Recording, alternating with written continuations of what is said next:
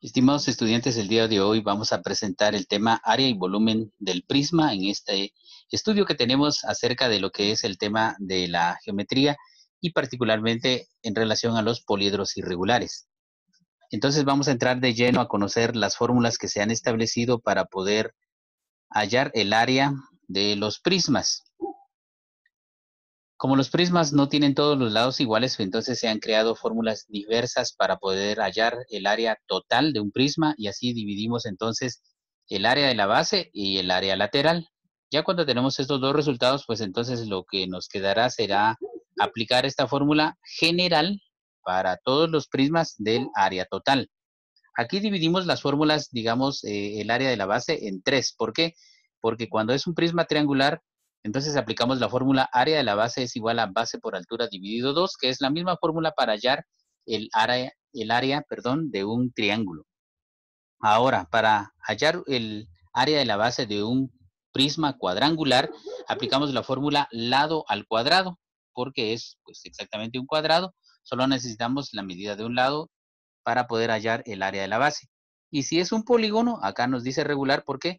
Porque es un polígono que entonces podría ser pentagonal, eh, podría ser hexagonal el prisma, entonces eh, no está exactamente definido para uno en específico, sino puede ser un polígono que en la base podría tener pues eh, distintas em, medidas, distintas formas y entonces eso hace que la fórmula sea muy generalizada para todos los polígonos, es decir, desde que tengan cinco eh, elementos hasta más, ¿verdad? De lados en, en la base.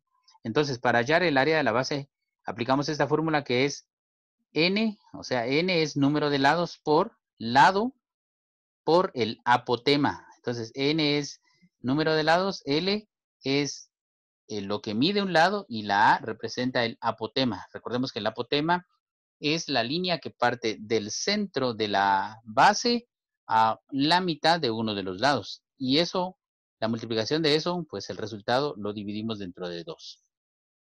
Ahora, para hallar el área lateral, vamos a aplicar cualquiera de estas dos fórmulas.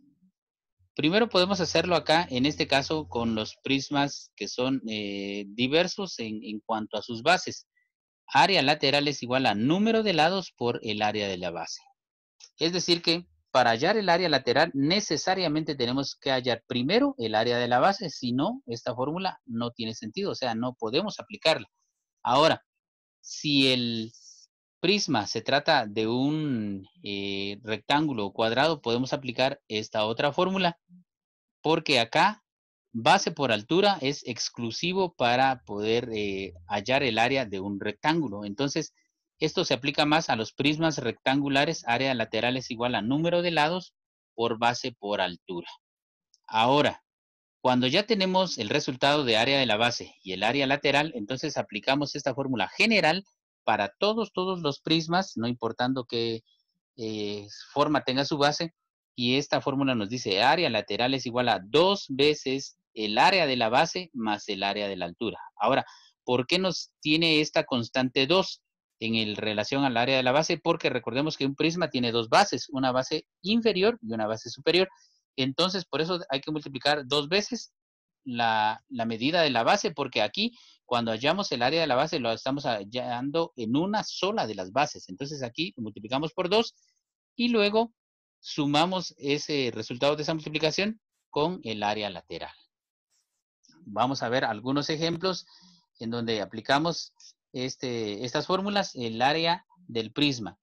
Ahora, recordemos así de manera muy general el área total, entonces tenemos que sumar el área lateral y multiplicar dos veces el área de la base y sumar esos resultados, ¿verdad? Aquí tenemos ya en forma resumida, el área total es igual a área lateral más dos veces el área de la base.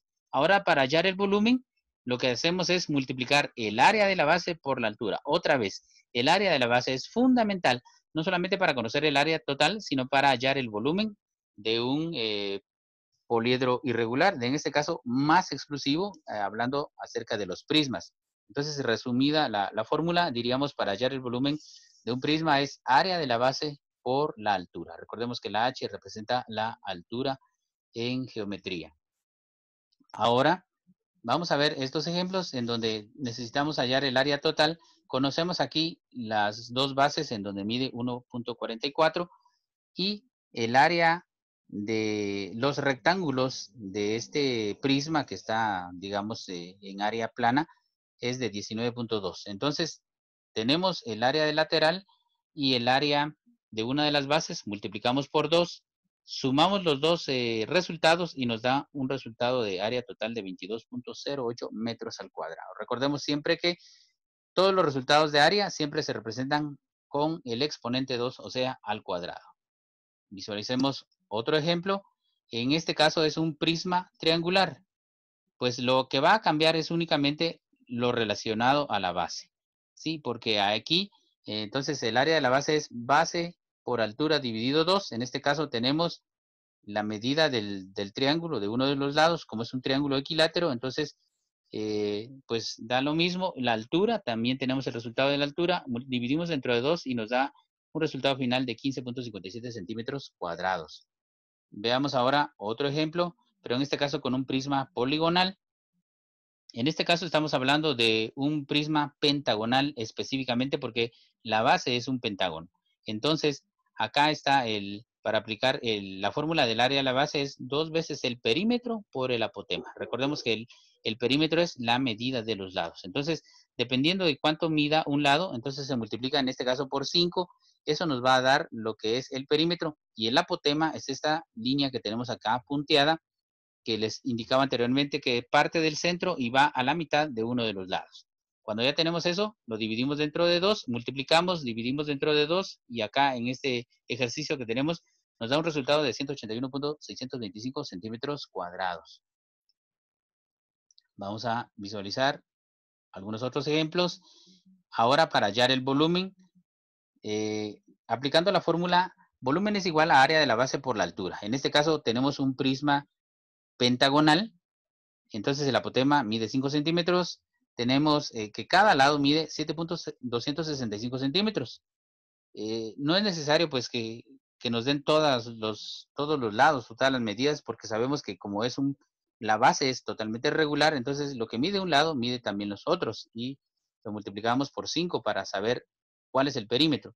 Y la altura es de 14 centímetros es importante también que veamos que las medidas tengan la misma magnitud. No podemos decir en unos metros y en otros centímetros. No, tienen que tener la misma magnitud. Aplicamos la fórmula.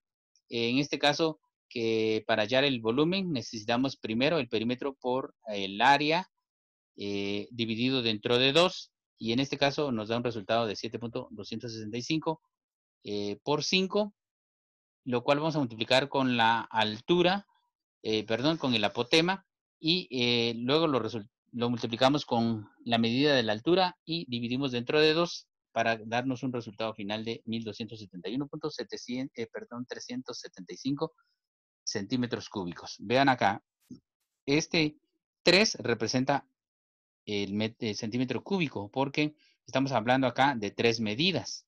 La medida del apotema, la medida de la altura eh, y la medida de lo que es eh, el lado de la, de la base. Entonces, por eso debe de representarse siempre al cubo.